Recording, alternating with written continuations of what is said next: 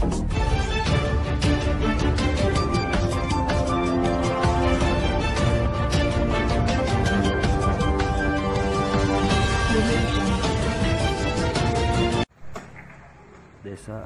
yang berada di wilayah Kecamatan Cisarua, Kabupaten Bandung Barat merupakan peserta yang akan mengikuti pemilihan kepala desa serentak yang digelar 24 November 2019. Salah satunya adalah Desa Pasir Alam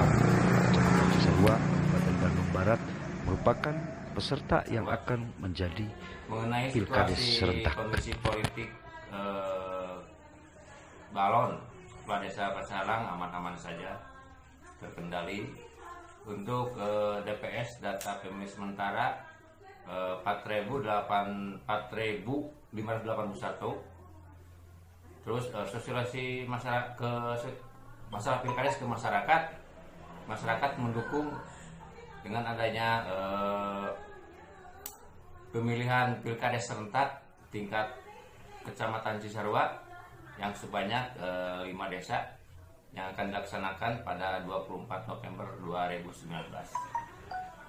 Untuk Desa Pasarang, masalah politik, sosialisasi dan eh, pilkades aman-aman saja, masyarakat mendukung. Persentase kehadiran masalah eh, pemilihan kepala desa, saya pengen selaku PD Desa Pasarang 100% lah. Mudah-mudahan bisa tercapai antar eh, 100% itu.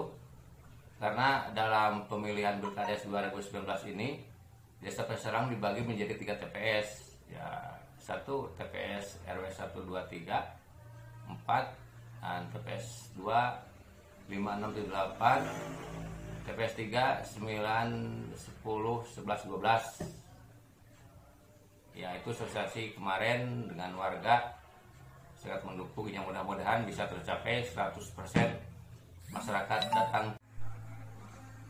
Kita optimis bahwa masyarakat akan bisa turun dan melaksanakan pencoblosan pada saatnya nanti di Pilkades mendatang. Dan itu dilakukan terus-menerus dalam rangka sosialisasi. Kontributor Berita 7 melaporkan.